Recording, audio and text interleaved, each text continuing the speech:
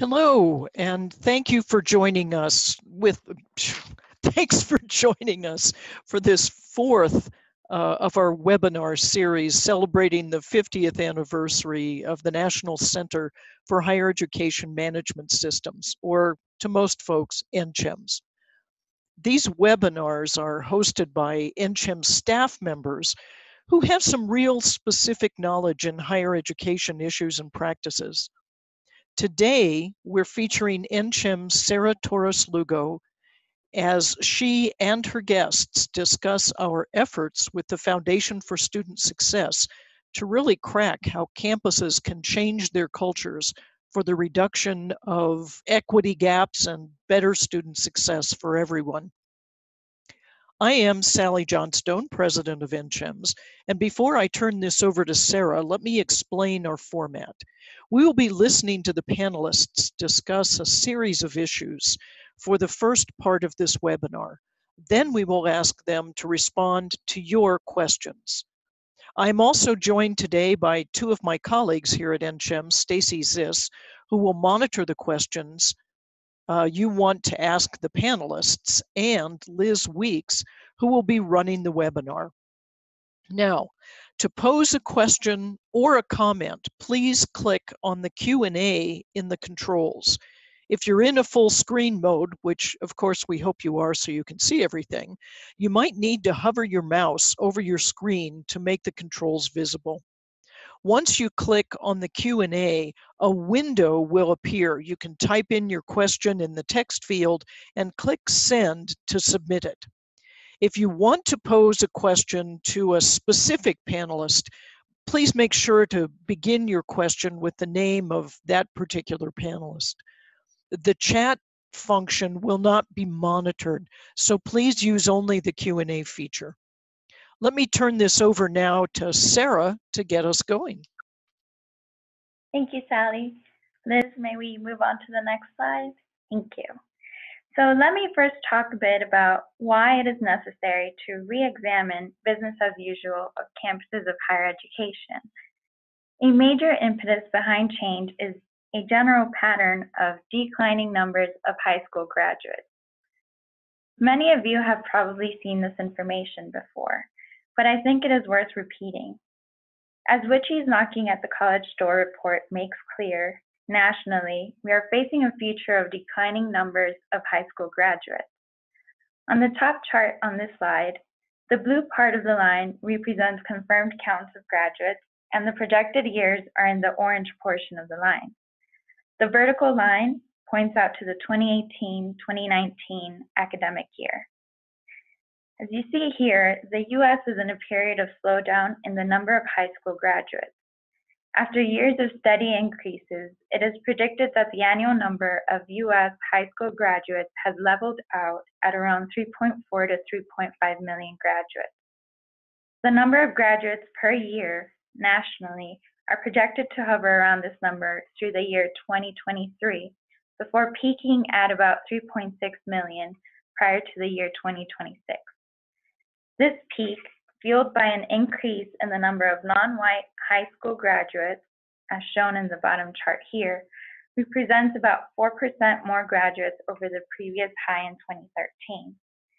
Beyond the year 2026, the number of high school graduates in the US will decline about 8% to 3.25 million, as fewer children born through, through, during the Great Recession and the subsequent recovery enter high school through the early 2030s. So in other words, by the early 2030s, we may be down to about the number of graduates seen around 2008. Liz, next slide, please. Thank you. While this is the national pattern, there is substantial regional variation. States in orange on this map are states with robust growth for a number of years. But despite their continued growth, these regions will experience average rates of increase much lower than in the early 2000s to 2013. The majority of states project, projected to face declines in the number of high school graduates for a number of years are in the Midwest and the Northeast. They are the states in blue on this map. Given post-secondary institutions heavy reliance on enrollments of students straight out of high school, recent declines and further projected declines need to be seriously considered in campus planning. Liz, next slide, please. Thank you. In our regions, the overwhelming majority of projected increases in the number of high school graduates will be attributable to Hispanic students. Decreases in the number of high school graduates in the Midwest and Northeast will be driven by fewer white graduates. In comparing future grads to those who left high school in 2013, our colleagues at WICHE give us a comparison at three points in time 2020, 2025, and 2032, broken down by demographics. Here, the bars above the line represent increases, and those below the midline indicate, indicate declines. This shows that nationally, 6 to 14% fewer white high school graduates are projected between 2020, 2032 compared to 2013. Meanwhile, growing numbers of Hispanic and Asian Pacific Islander graduates offset the decreasing number of white high school graduates, at least nationally. In 2020 and the years leading up to it, strong increases of Hispanic and Asian Pacific Islander high school graduates offset to a great extent the declining population, leading to the generally stable numbers.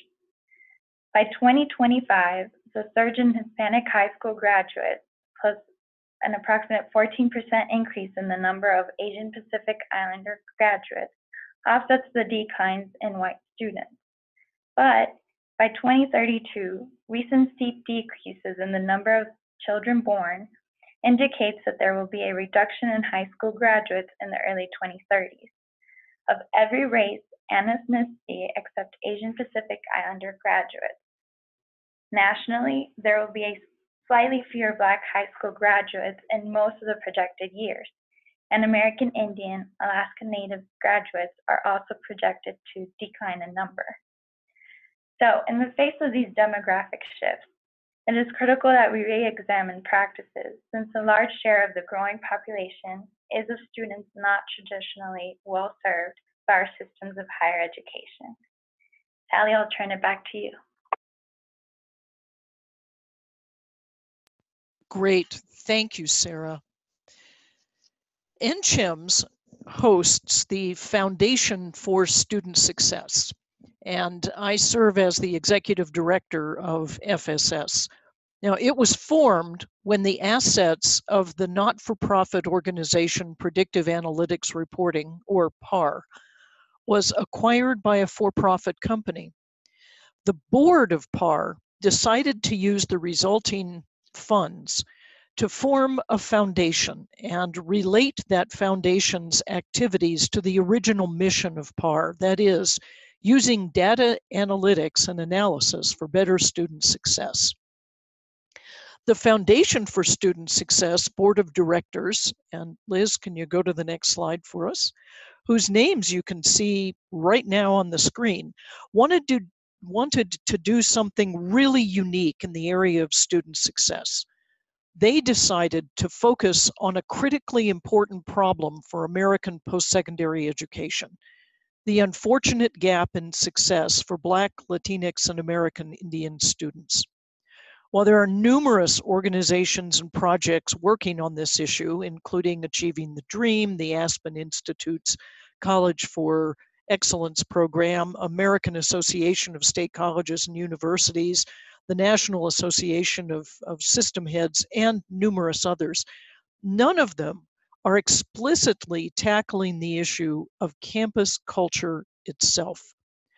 The board members realized that changing the culture of a campus won't happen quickly that it usually takes eight to 10 years and really needs to outlast the leaders who first began the process.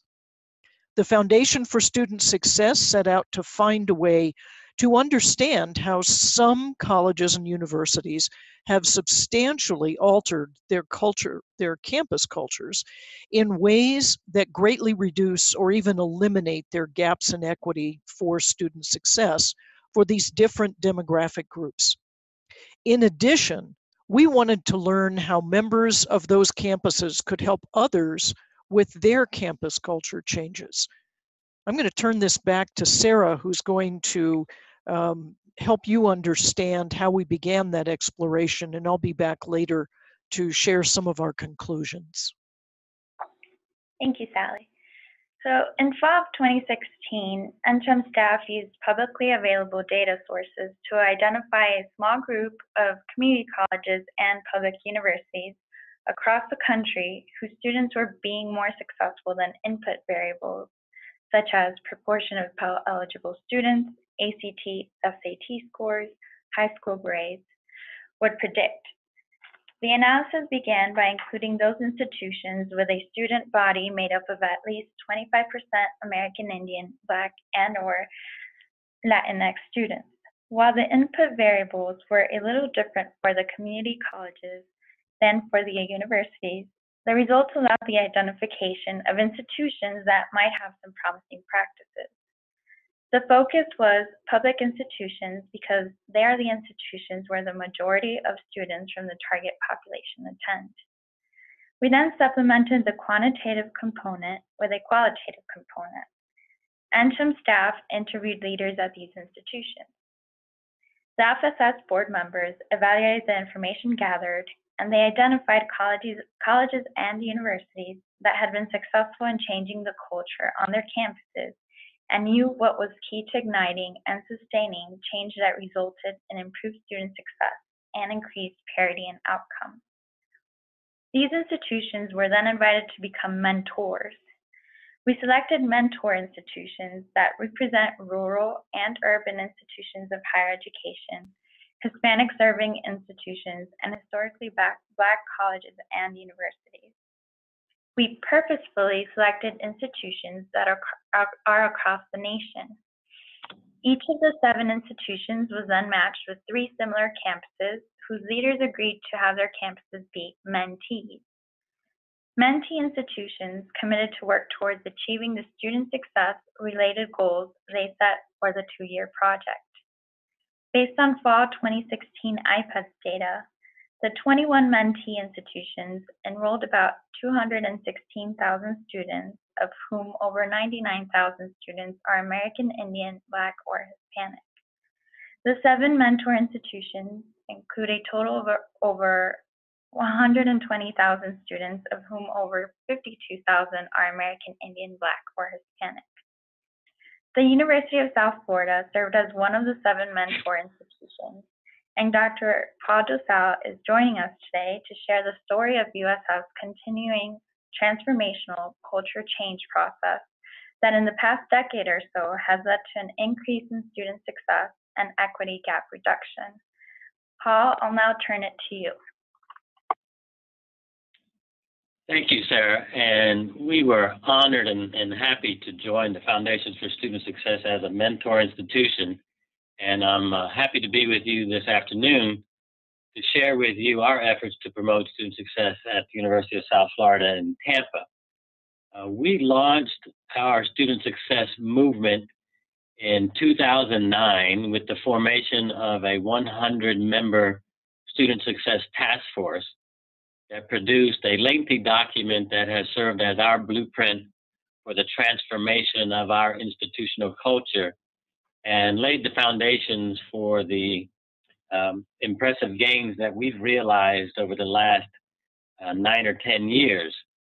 Uh, although we implemented a whole series of programs, policies, practices that are, are common to other universities across the country, we also recommended that the university make an institutional commitment to student success as part of a larger cultural change eh, in which student success was recognized by the entire community as a top priority.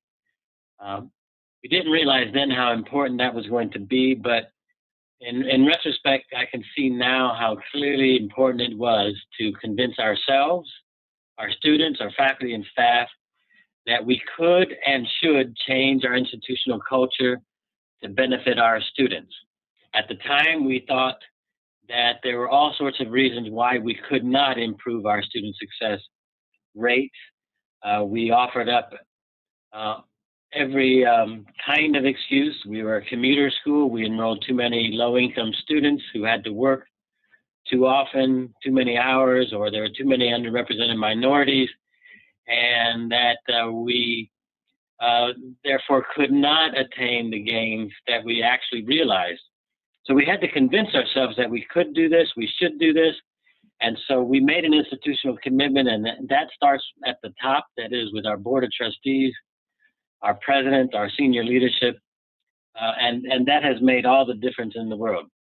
As you'll see in the next slide, showing our six year graduation rate gains from 2009 to the present, um, we increased our six year rate from 51% to 73%, and the rate is still climbing. We expect it to hit 75% with the, the next cohort.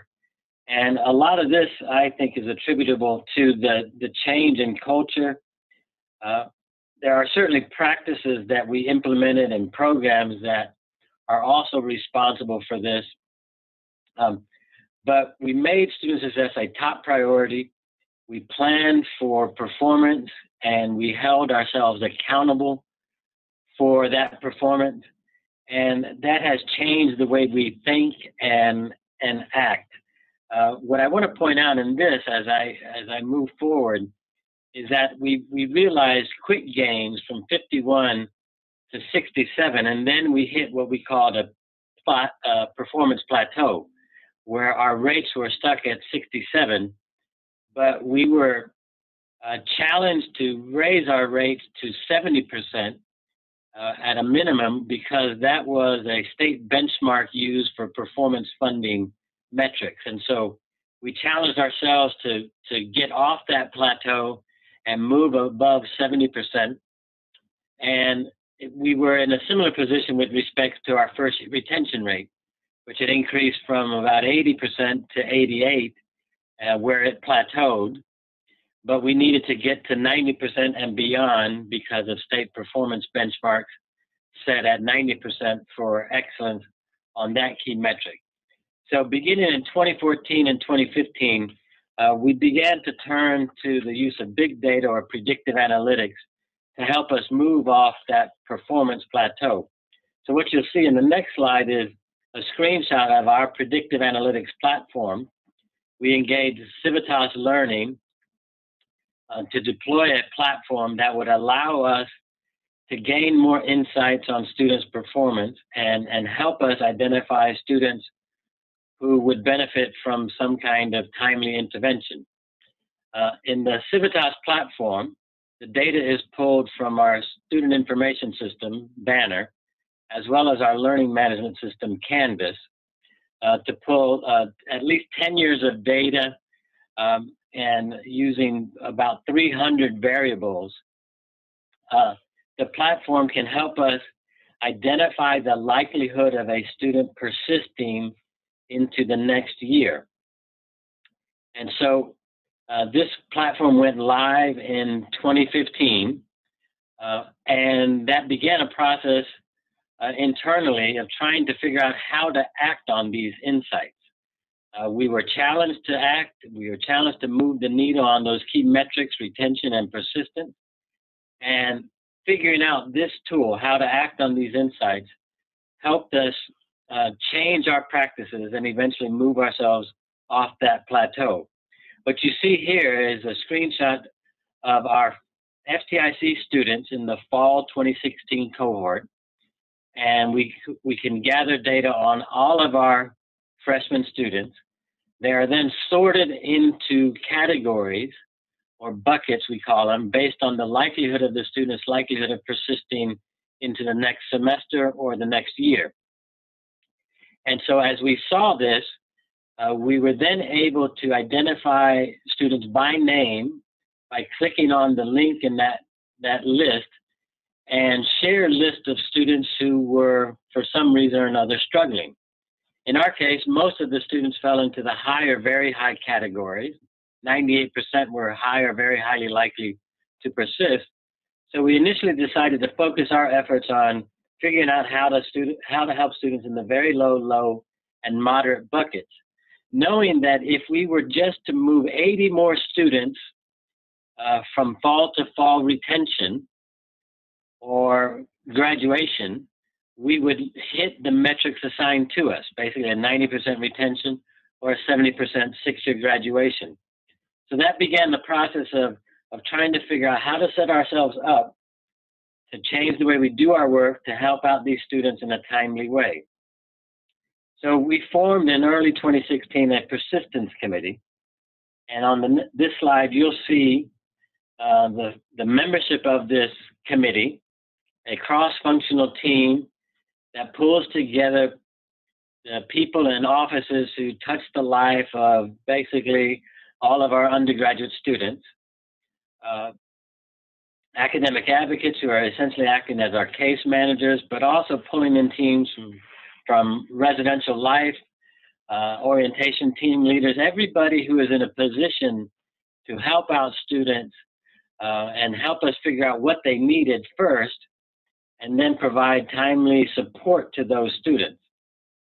So they came together in 2016, and it helped that this cross functional team uh, was made up of people who were all basically integrated into a new unit that we formed uh, by combining traditional student affairs units plus enrollment planning and management units and undergraduate student uh, undergraduate studies units all of them touching the life of an undergraduate student and they, they came together in one unit uh, supervised by a vice president myself and it helped then that we were all on the same team. Uh, we had done so much work to eliminate the traditional silos that hamper our work. And so together they were charged with finding out what it would take to move more students uh, toward second year retention and timely graduation. And so this team comes together. Uh, they review the list of students provided to them from the Civitas platform. And they began basically to triage those students and figure out what they needed and who was in the best position to provide that support uh, to move them on. And the results have been promising, as you'll see as we look at our graduation rates by race and ethnicity. We did manage to pull ourselves off that performance plateau. And so uh, we hit um, we moved from a 68% six-year graduation rate to 71, and it's still climbing. And we also moved our retention rate from 88 to 90, and that is also still climbing to 91, and we're expecting it to hit 92. And more importantly, uh, we wanted to achieve equity in outcomes. And so we always disaggregate the data by race, ethnicity, and income, and even gender uh, hoping to see parity in the outcomes. And so in this table, you see the six-year grad rate by race and ethnicity. In the last two cohorts, you'll see we've basically achieved parity. The numbers change year to year, but our black Hispanic students are graduating at rates equal to or sometimes higher than white students. Our Asian students are graduating at rates higher than all other groups. Um, and we're, we're pleased with this re, these results. This is what we want to see. We want to see, in fact, equity in, in outcomes. We also measure by uh, limited income status, basically using Pell versus non-Pell as a proxy. We're close to achieving that parity. In the last 2012 cohort, for example, you'll see Pell students graduated at 73% rate and non-Pell graduated slightly higher at 74. We would like to see that equal. In previous years, like the 2010 cohort, you'll see that the, the Pell students graduated at a rate one point higher than non-Pell students. So we're pleased with that, but still not satisfied. We're always looking at equity gaps. And, and we know that we also have a, a more vexing one, which is troubling us um, by gender, with male students underperforming across the board. Um, but we've set ourselves up in a way using the, the predictive analytics by our persistence committee to help us promote higher graduation rates as well as eliminate or close the achievement gaps. So with that, I'll, I'll turn it back to Sarah. Thanks for sharing, Paul. For more information about USS Journey, I invite you all to visit fssawards.org and click on Case Studies. You will find information about the journey of all seven mentor institutions on that website. And you can, I'm sure, feel free to browse their website and perhaps find some more information. So I'd like to talk about the process we used for FSS's first project. After selecting mentor institutions, which you'll see in green on this slide, and you only see five because we had two mentors in California and two mentors in Florida. Um, so after selecting mentor institutions, mentors gathered in person in December of 2016 to discuss expectations, ideas, and goals for the project. In spring 2017, staff from mentee colleges, those are in the shade of pink on this map, they visited the mentor campus to start the process of understanding how the mentor institutions were able to manage their long journey of institutional transformation that resulted in improved student success and parity in outcomes. Our point person or persons at mentor campuses created the agenda and invited various key players from their campus to speak with the mentee institution guests. Before leaving the mentor campus, we asked each mentee campus team to provide a list of topics they would like to discuss with the mentor institution during the two-year project. And we also asked them to outline goals for the project, keeping in mind that two years is a short time. These goals were later revised, in most cases several times, as teams narrowed down their focus and adapted to changes at the campus level, system level, and or state level. FSS staff coordinated periodic conference calls between the staff members of mentor institutions and their mentees as the mentees refined their goals and implemented their action plans for the project. FSS staff listened in, in on each call in order to document the process. In December 2017, mentors gathered again in person to discuss progress. Some main takeaways from that meeting included how important context is. There is no silver bullet solution or a secret sauce. A tension that is common on campuses is the question of who owns student success. And another takeaway was that there is always more work to be done, and mentors have much to learn from their mentees. In spring 2018, the mentor and mentee institutions were featured in webinars focused on tough conversations toward equitable student success.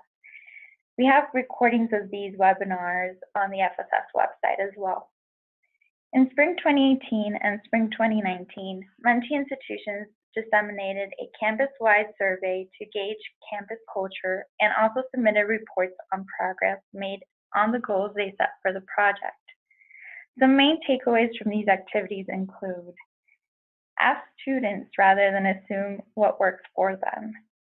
It is important to modify deficit and intimidating language usage that can alienate students.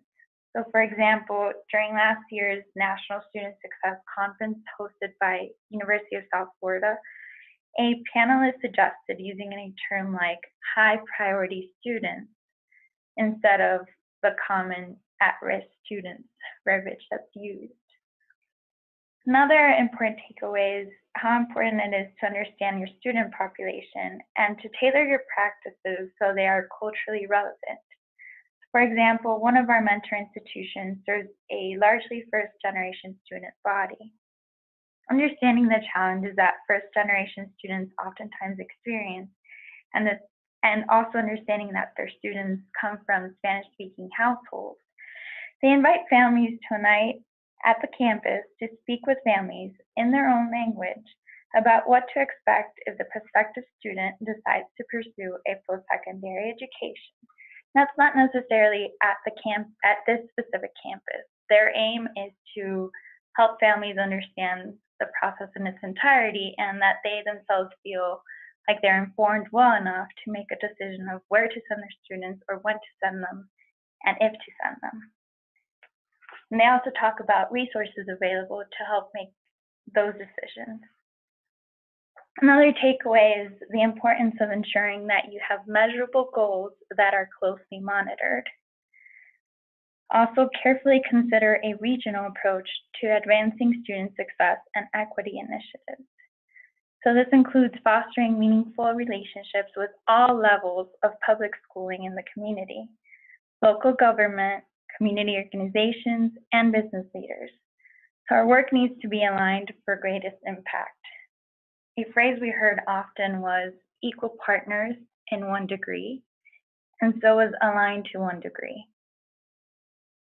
Another takeaway, educate the campus on your data in order to build trust in it. Disaggregate your data and create opportunities to have faculty review data on student achievement at the course and section level to better understand that student's experience in the course. For greatest impact, you really should provide instructor support for trying new possible improvements now that they have the data and that they have a better sense of what might not be working. We also need to be proactive. So Paul mentioned some of this about knowing when to intervene and how to intervene. And he's also talked about having the right person intervene. Don't wait until a small issue becomes a larger issue down the line. The way you allocate resources says a lot more than a mission statement. Something else that came up a lot is that when there are strong opposing opinions about how to best move forward or what steps to take. Put the student at the center of the conversation.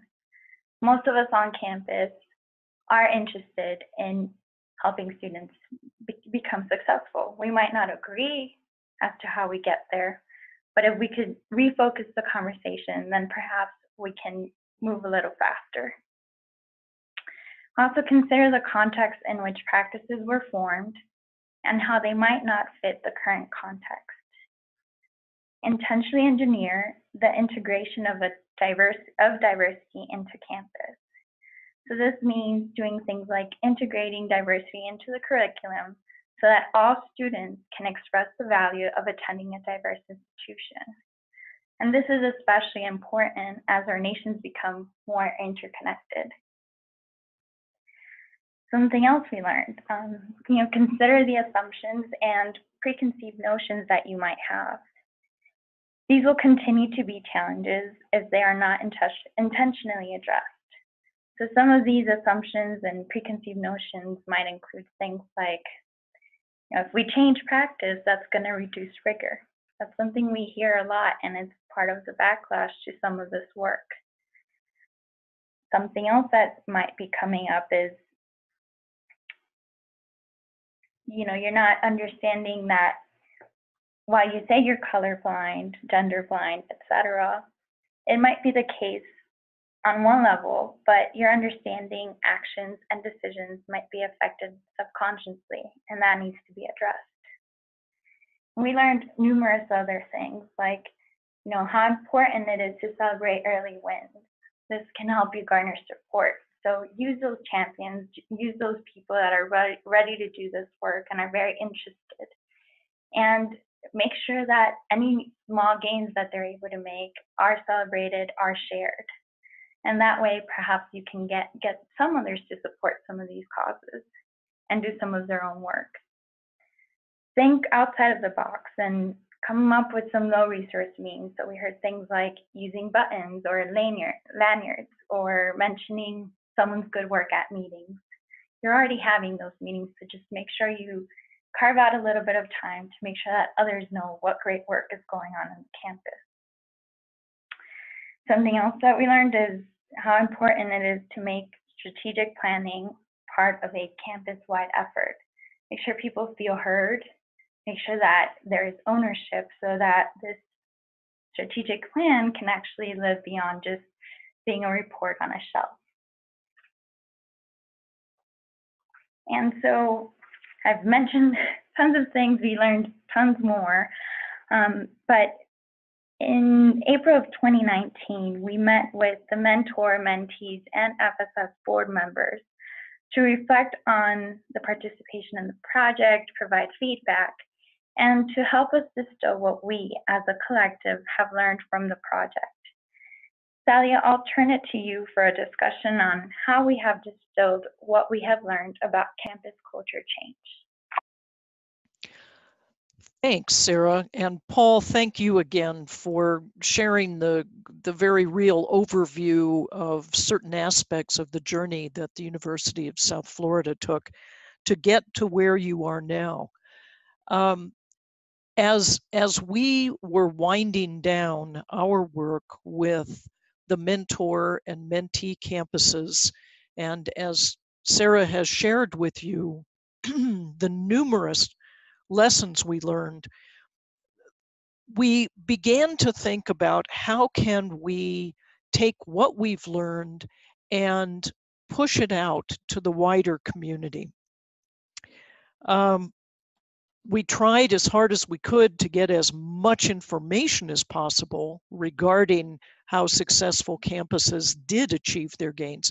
But we also were focused on what were the greatest challenges that the campuses who were working to reduce their equity gaps began to encounter. And, and Paul mentioned some of those in, in his remarks, but Sarah brought up a few others. And none of this is simple, I think is the best way to put it. But as we went through looking at our surveys and the interviews that had happened and reviewing and reflecting on the conversations that had gone on for a year or so, over a year actually, uh, between these campuses, we began to filter it down to some very specific levers. Um, and we then took these levers to the meeting that Sarah mentioned with all the mentor and mentee campuses and had them uh, sort of vet them for us. And through that, got greater refinement on them. But let me let me just run through these for you. Um, the first lever is no surprise here: data collection, analysis, and of course use. In other words, how do, how do you find and really use the data that you have available on a campus? And you heard that part of the University of South Florida's strategy was to bring in an external product to help them understand their data better. Um, not all campuses did that, and yet they found ways to understand what they were doing and to break it down in meaningful ways. And that, of course, means engaging your institutional research offices as partners in this quest. Uh, and it may also mean uh, more tools and or skill sets for the individuals who work in institutional research. It also means, uh, as, as Paul said over and over, and I think Sarah mentioned too, developing the performance indicators on student success and really using the data to hold the campus community accountable. The second lever that we identified is the effective campus-wide communication and engagement. Uh, communication to the entire campus community is critical with regard to both the goals and the rationale of the culture change that needs to happen to enhance student success. There needs to be campus-wide training for faculty, including uh, less than full-time faculty, and of course all non-academic staff. The data and progress toward those goals really needs to be shared with the campus community. And by that, it doesn't mean sending out a spreadsheet. It means having ways in which you can use the data to tell the stories about how every part of the campus is progressing in their role of assisting in students being successful.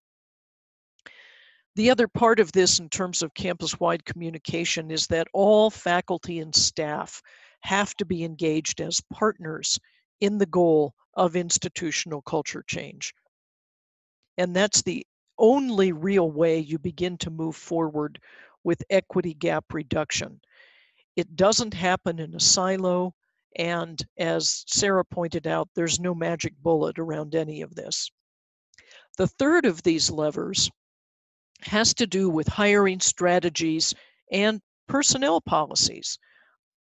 As you begin to hire new people into the campus community, it's critical to promote the campus culture change and include activities such as revising all your job descriptions, interview questions, ensuring diverse search committees, and of course, diversifying the job posting locations and how you are going out to recruit uh, anyone into the community.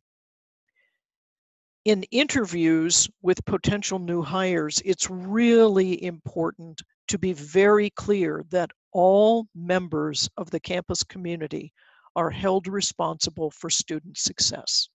Everyone.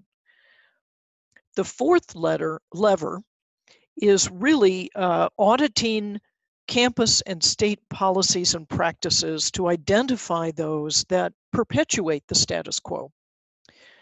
So you need to sort of help identify the alignment of the policies and practices with the institutional culture change goals and your desire to reduce your equity gap and the strategies around that. But in evaluating the practices, you need to look at those that can be easily changed and those that are mandated by institutional or state policies, which will require more effort to change. But it doesn't mean they can't be. It's also important to work toward modifying all of the practices and policies that are needed to really knock the campus off the status quo that is less than successful with regard to all students being successful. Now, between the partnership with FSS and NCHEMS, we're currently developing inventories for campuses to be able to do their own assessment in these areas, these levers, so that they can discuss among all their members uh, of the campus community where they are and where they need to go next and how to sort of start that progression. Um, I'd like to turn now to some questions. And Stacy, do you have some questions for our panelists? I do. Thank you, Sally. We'll start with Paul. Paul, is the USF, um, are you able, is a, another campus able to replicate the USF model? Sure. I, I think the model we've used can certainly be replicated. There, there are some easy wins here um, to institutionalize student success as a top priority for the institution. Uh, several things can be done uh, for example, uh, forming a student success council with representation from faculty, staff, and students um, to provide advice to senior leadership, to coordinate actions, to make sure everyone understands it's a top priority of the institution. That, that's low cost, uh, no cost even. Uh, the appointment of a vice president for student success to make sure that there is a person designated on campus who has the authority and responsibility for carrying out student success initiatives. Um, that too can be done. And then there, there are so many different things that can be done to create the appropriate institutional culture, some uh, communications and marketing strategies, posters, stationery with uh, the slogan we used years ago, student success is everyone's responsibility.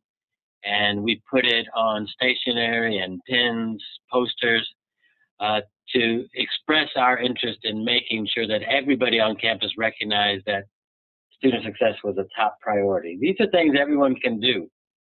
Uh, but more directly, let's say the work of our persistence committee can be uh, replicated elsewhere. Uh, you don't need to hire new people to do it. Instead, it's more like putting, pulling together people who are already doing their jobs, but might be operating in silos and not collaborating enough to promote student success. Uh, you don't need to hire more people. It's more like just pull together advisors, resident assistants, uh, financial aid counselors, counselors, uh, case managers, cashier's office, reps from the library, everybody who touches the life of a student, they, they can be pulled together to promote student success. Uh, again, this is low cost. And, and if people are also worried about using predictive analytics, I should also add that we also use in-house models that we developed uh, at relatively low cost. We did them internally. That, and these models also provide us with insights into student performance and predicts the likelihood of their persistence. Uh, but if, if you look at our model, the, the items we've spent money on, and there it's, it's not too much, uh, the predictive analytics platform, and uh, and we hired about 12 case managers. We call them academic advocates, uh, but we never hired them all at once. We staggered that over the course of maybe five years, and so we never really faced a, a real big budget crunch uh, to get this done. So I think there's a lot that can be replicated elsewhere, and and I'm happy to have conversations with people about um, how we have done that and how it can be done elsewhere. Stacy, can I add a little point there? Absolutely. Um, one of the things that, uh, back to what Paul was just saying with regard to uh, really disseminating information across the campus of how critical everyone is in their role of supporting student success. When we visited the University of South Florida, uh, it is a commuter campus. And one of the things that we did was, you know, got to see the whole campus and it was a remarkable facility. But when you asked a parking lot attendant what his or her job was, the response was to help students succeed. And I would suggest that what they've done at the University of South Florida has really taken this notion of culture change toward greater student success to a level of maturity. But as Paul is always pointing out to us, it's not done yet. Thanks. Thank you, Sally. Uh, Paul, just to follow up a little bit on this persistence committee, what was the process for creating it and were there obstacles? Um, well, there there were some obstacles, and and I'd say the obstacles were ourselves. That is, uh, it took us some time to figure out how to use and act on the insights that we were generating from the predictive analytical models. And so I'll, I'll also share with you our, our first mistake. We set up a committee um, composed largely of senior level administrators to review the insights that we were seeing on the, the Civitas platform. And it's a case in point and a lesson learned here.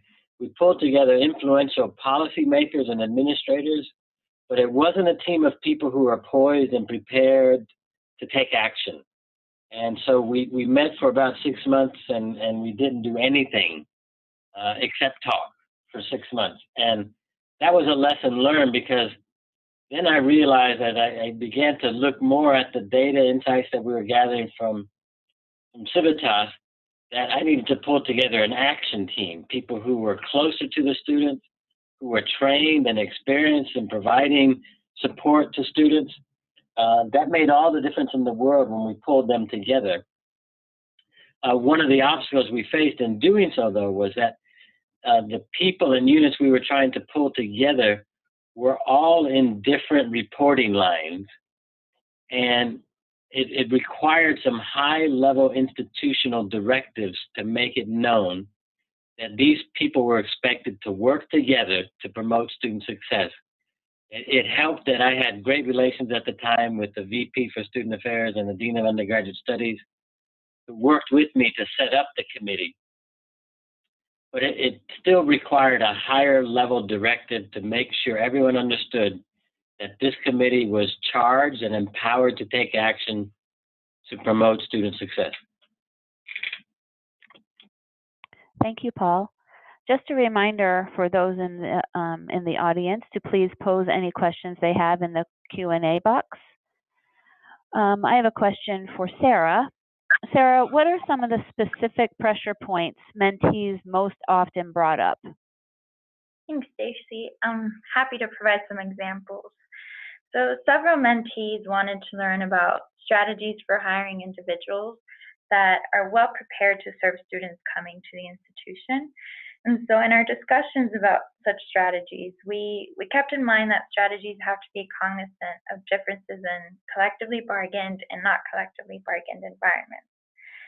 And we had pods talk about things like the makeup of hiring committees and how important it is to have a hiring committee, what kind of training that they should receive, being intentional about where you are sharing those job postings, knowing that they're going to reach different groups of people. Also, looking very intentionally at the interview questions. So, making sure that there isn't, for example, just one very clear question that's supposed to get at, you know, do you have experience with working with others that are perhaps not like you, don't have the same background or experiences? Instead, how do you weave those into other questions so that it it really speaks to your your institution's commitment to serving all students and keeping in mind that students bring strengths and challenges that, that are varied and you need the people on your campus to know how to work with those. Um, some other things that we talked about is how do you make sure that once you have hired those individuals that are prepared to work with your students, how do you keep them? And so we have some institutions that are in very rural areas and they do experience a lot of challenges attracting um, you know members to join their team and so that's one of the challenges. But then the challenge is also how do you retain them? So now that you've put in all this work to have them apply, to come on board, how do you keep them on your campus? So some of the things we talked about is when they do visit the campus before, even before making their decision, make sure that there are events set up so that they could meet others from varied backgrounds so that they could perhaps connect with someone that can share some of their experiences and make them feel like they will be welcome and that this will be a good place for them. And you know, once they do join, make sure that you are opening up the door for them to talk about whether or not they feel like they're included or there's a space for them on campus. Another pressure point we talked about was how to manage leadership changes and, you know, we had several mentees and mentors experiencing some of that. And so we talked about things like how to make leadership changes an opportunity rather than an obstacle. And so one mentee, they shared how when they knew a new president was going to be coming on board, you know, this specific um, team member in this mentee team made sure to get on the calendar of this president so they could sit down and talk about you know what what are some of the things going on on campus? What have they tried? Where is the institution going so that instead of just pausing and waiting for direction from new leadership they could inform that new direction some other pressure points um, developmental education that was at the top of the list of priorities for several institutions and continues to be. Um, also, we had a lot of conversations around, you know, how do you, for example, help faculty on kind of change this gatekeeper mentality? So, this idea that you are successful if your students are not getting A's, right? Or if perhaps they're dropping out instead, how do we change this mentality to a mentality of I do have some tools that I could use to help more students be successful and move forward. Um, there is also a lot of interest in living learning communities. We have a, we had a few mentees um, start these up at their institutions during the project, and they got a lot of feedback from other institutions on what they tried, what seemed to work. And so that, that was one of the areas of interest. Um, also, academic advising, it was high on the priority list as well. Different institutions trying new things. And also how to engage faculty. That was a, a big pressure point. So something we talked about was how to create the right circumstances for having conversations with faculty using data from you know their course or their section um, to to get at what they might want to do differently. And so, how do you create these spaces for conversations where it's not a sort of I guess it, it could just become a problematic conversation. And so, how do you set it up so that these are productive? These are not sort of seen as a you know I'm I'm being told what to do. Instead, how do we both perhaps find you someone else that can help you out. So maybe another faculty member that's trying to do something different in their classroom that has seen some some success. And so so that's some of what we talked about in terms of engaging faculty.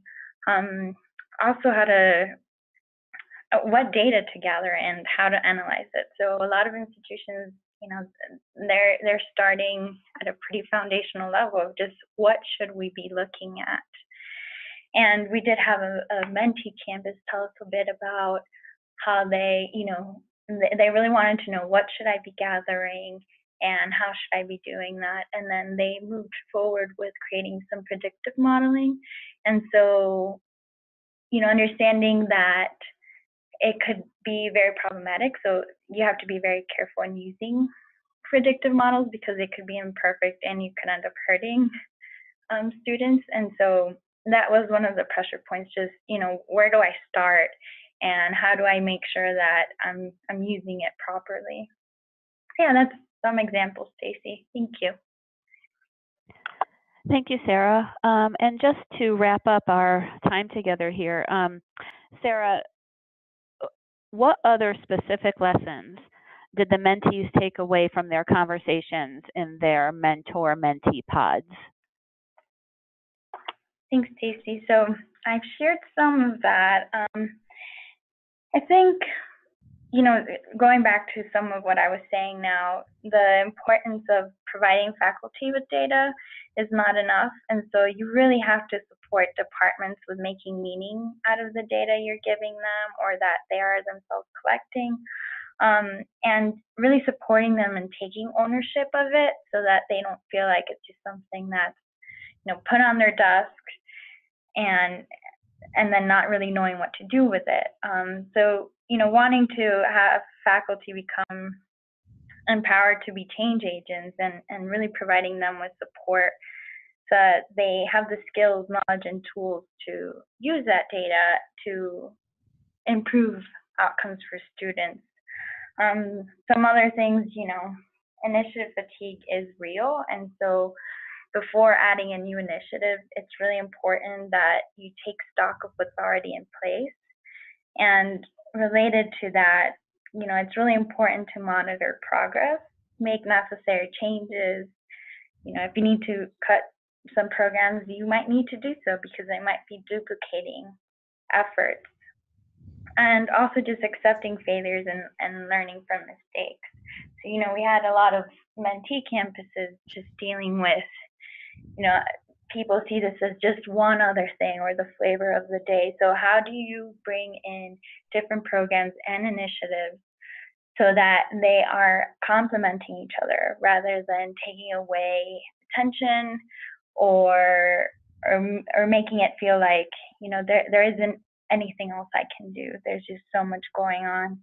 Um, and Sarah, Sarah, I think we yeah, need to wrap up. Uh, no problem. This is great, and thank you. And Stacy, thank you for managing the Q and A from the audience. Um, thank you also to the audience for participating in this fourth webinar of our anniversary series. Our, our next webinar will be in September, and I'll be hosting that one, and we're going to be discussing new uses of technology to help learners gain appropriate access to what they need to attain high value credentials. So please go to the NCHEMS website to register, and this webinar will be archived at the at the site, and we encourage you to share the link with others you think would be would like it. Thank you finally to Sarah Torres Lugo and Paul Dosal for sharing your experiences, and we really appreciate the effort. Appreciate the effort and time. Thank you. Thank you, Sally.